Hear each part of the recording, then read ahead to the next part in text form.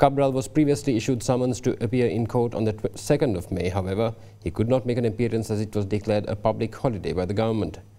Attorney-at-law Jeewantha Jayathilaka appeared for him and stated that he would make preliminary objections regarding the personal complaint. The order was issued by Colombo Additional Magistrate Harshana Kekunawela after a personal complaint filed by his former Southern Province Governor Rajith Keerthi Tennakoon was taken up today.